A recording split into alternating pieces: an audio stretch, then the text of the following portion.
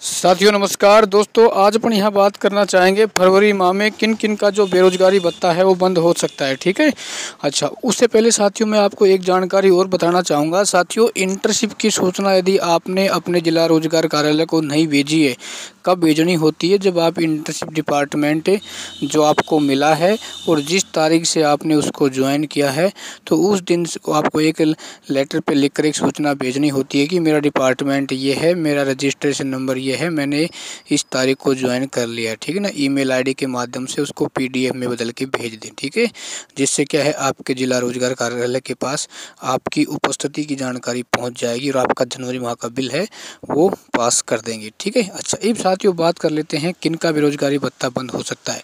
देखो दोस्तों, जिनका फरवरी 2021 में फॉर्म अप्रूव हुआ था, ध्यान रखना, चाहे फरवरी की किसी भी तारीख को आपका फॉर्म अप्रूव हुआ हो। जैसे मान लो आपका फॉर्म 10 फरवरी 2021 को अप्रूव हुआ हो तो आपकी रिन्यू डेट आज यानी 1 फरवरी से शुरू हो चुकी है और ये लगभग 28 फरवरी तक रहेगी। ठीक है तो आप अपने फॉर्म को जल्दी से रिन्यू करवा दें। रिन्यू के लिए कुछ भी नहीं करना, आपको आय घोषणा पत्र भरना पड़ेगा। ठीक है ना, आप ई मित्र पे जाना, वहीं भर के उस पर दो लेक्चर हर के साइन करवा देना, अपनी फ़ोटो पे एक साइन और मोर टिकवा देनी और नोटरी करवा के उसको ई मित्र पे अपलोड करवा देना है, ठीक है?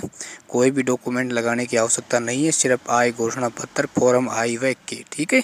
कैसे भरना है, इसका मैंने वीडियो बनाया है, उसका भी लिंक मैं डिस्क्रिप्शन में डाल दूँगा, उसको देख लेना, ठीक है? ये काम आप ज़रूर करें, तभी जाके आपको बाकी का जो भी तुम्हारा भत्ता एक साल का बचा हुआ है, वो आपको मिल जाएगा। यदि आप 28 फरवरी से पहले पहले नहीं करवाते हैं यदि आप 28 फरवरी के बाद भी यदि आप मान लो आपने 28 फरवरी तक नहीं करवाया तो आपका बेरोज़गारी भत्ता ऑटोमेटिक बंद कर दिया जाएगा, ठीक है? तो इसलिए ज़रूर करें, यदि आपका फॉर्म अप्रूव हुआ था 2021 फरवरी में, ठीक है? तो ये जानकारी मैंने आपको इसलिए दी है ताकि आप सावधान रहें, जागरूक रहें। धन्यवाद, और चैनल को शेयर सब्सक्राइब ज़रूर करें।